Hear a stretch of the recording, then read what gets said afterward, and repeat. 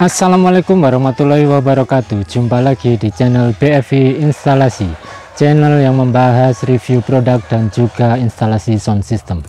Pada kesempatan kali ini saya akan mereview sebuah speaker kolom terbaru dari Toa Yaitu ZS107AS Ini adalah speaker pengganti ZS102 Ya yang kolom Toa model lama yang Almini itu ZS102 itu sudah tidak diproduksi lagi. Sekarang ada keluaran terbaru yaitu ZS107 di mana speaker ini mempunyai daya yang sama dengan ZS102 yaitu 10 watt. Langsung aja kita akan unboxing sama-sama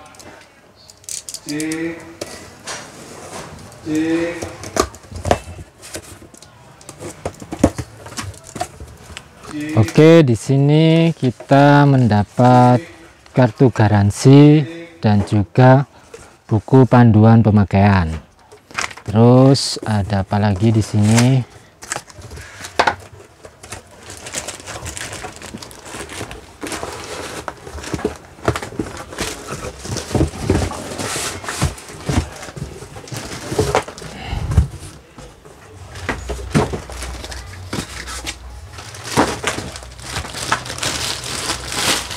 Seperti ini ya speakernya ya. Speakernya modelnya setengah agak oval ya. Bahannya dari plastik ABS kalau yang tipe lama ZS102 itu bahannya alumini ya. Yang ini bentuknya sedikit melingkar ya agak oval. Speakernya ada dua jadi si speakernya ini dua ya. Ini unit speakernya terus untuk bracketnya sendiri kayaknya. Bentar saya buka dulu.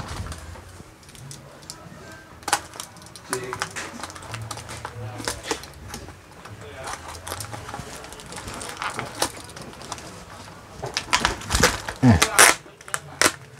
seperti ini bracketnya bracketnya seperti bracket F2000 ya kecil. Nanti kita akan coba bongkar.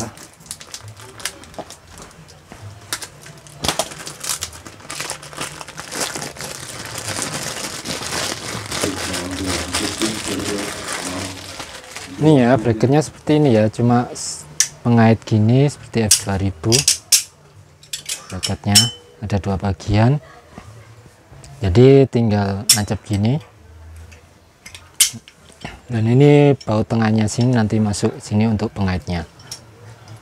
Jadi cuma ada dua bagian gini. Ini untuk naik turunnya atas bawah gini.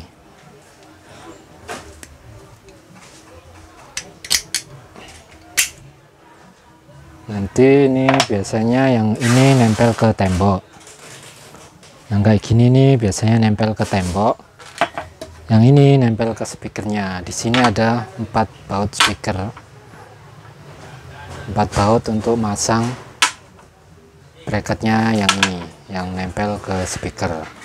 Seperti ini cara pasangnya jadi ini nanti bisa naik turun. Terus ini nanti dihubungkan yang menuju ke tembok. Jadi ini cuma bisa naik turun aja ya untuk kiri kanannya nggak bisa ini. Untuk kanan kirinya nggak bisa. Jadi cuma atas bawah gini aja. Untuk kanan kirinya nggak bisa ini. Kalau kalian ingin merubah anunya kanan kiri menjadi atas bawah ya tinggal pindah posisi bracketnya ini. Kalau seperti ini bisa kanan kiri.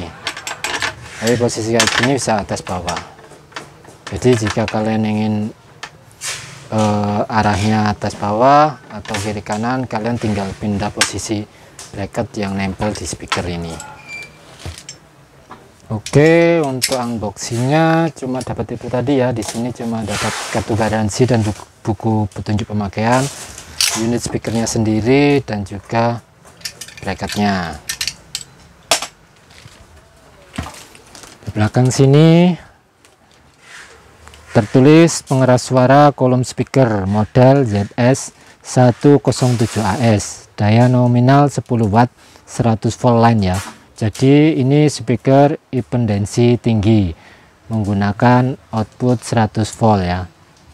Atau inputnya 100 volt lah. Harus menggunakan amplifier toa warnanya hitam bahannya dari plastik ABS ya jadi pendensinya ini 100 volt harus memakai amplifier toa atau amplifier yang mempunyai output 100 volt. Model speakernya agak oval isi dua speaker. Speakernya ini kurang lebih 4 inch ya. Karakternya lebih ke woofer kalau lihat dari speakernya ini. Untuk lebih detailnya kita coba aja suaranya seperti apa ya kita tes suaranya menggunakan mic vokal dan juga kita menggunakan musik. Oke guys sebelum lanjut jangan lupa like dan subscribe channel ini agar channel ini lebih berkembang lebih baik lagi. Untuk spesifikasinya ya speaker ini memiliki daya nominal 10 watt. Untuk impedansinya itu 100 volt ya line ada hot hot itu plus ada di kabel hitam ya. Untuk komnya itu ikut kabel putih. Jadi di belakang sini kabelnya itu warnanya hitam dan putih. Hitam itu plus. Dan untuk minnya itu yang putih nih ya masuk ke kom ya. Jadi ini kabelnya warna hitam dan putih. Untuk bahannya sendiri dari plastik ABS warna hitam speakernya sedikit oval lebih ke bulat sih. Cuma di bagian sini aja yang lurus tempat dia naruh bracketnya. Untuk respon frekuensinya ya ini berada di 80 Hz sampai 20 kHz ini berarti karakternya sedikit low ya daripada tipe yang ZS 102 untuk komponen speakernya ada dua piece di sini.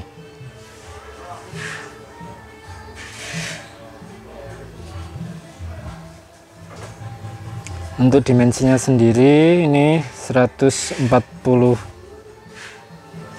mili ya atau sekitar 14 cm tinggi eh, dan untuk tingginya ini sekitar 30 cm ini sekitar 30 cm tingginya. Untuk tipe ZS 107 AS ini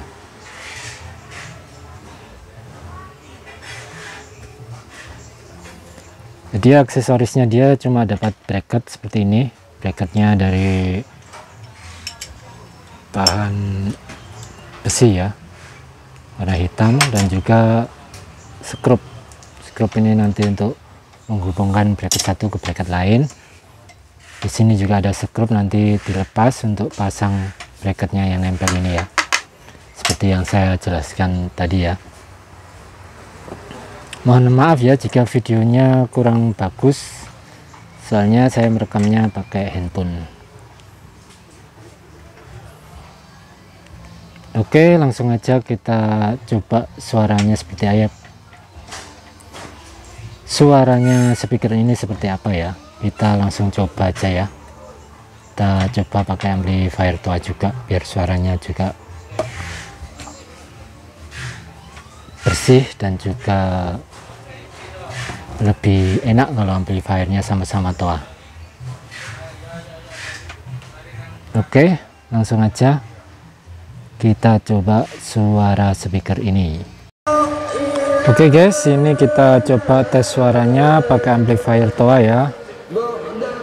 Ini saya menggunakan suara tarhim. Seperti ini suara tarhimnya. Ini untuk suara kita pakai untuk suara tarhim.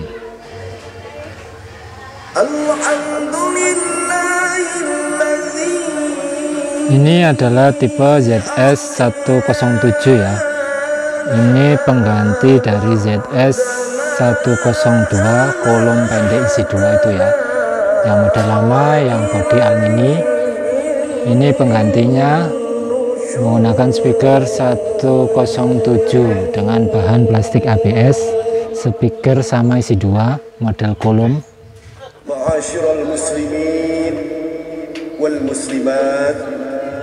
untuk tipe yang ZS 102 itu sudah tidak diproduksi lagi ya.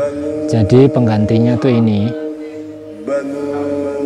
Begitu pula dengan tipe ZS 202 mungkin kalau video ini rame saya akan mereview yang tipe ZS 102 yang lama atau mungkin ZS 202 yang lama. Tapi yang pasti untuk kedua barang kolom tersebut sudah discontinue ya. Nanti saya akan review yang model terbaru yaitu 207 pengganti ZS 202 dayanya sama. Kalau ini 10 watt nanti yang tipe ZS 207 itu dayanya 20 watt seperti ini suara kalau kita pakai suara tarhim ya. Sekarang kita coba untuk suara mikrofonnya ya. Oke okay guys sekarang kita coba untuk suara micnya ya. Cik tis lo lo cik satu satu cik a a tis lo lo cik satu satu cik tis lo cik dua dua tiga tis alo cik satu ya ini suara mic untuk ZS 107 AS suaranya lebih tebal daripada ZS 102 jadi speaker ini adalah pengganti ZS 102 kolom yang 10 watt. Ini dayanya sama 10 watt cuma beda penampilannya dan juga bahannya. Kalau yang ZS 102 bahannya dari alumini. Kalau yang ini bahannya dari plastik ABS modelnya pun sedikit bulat ya atau agak oval gitu kalau yang lama modelnya kotak gitu kotak persegi panjang. Cik tis long. Cik sedu sedu.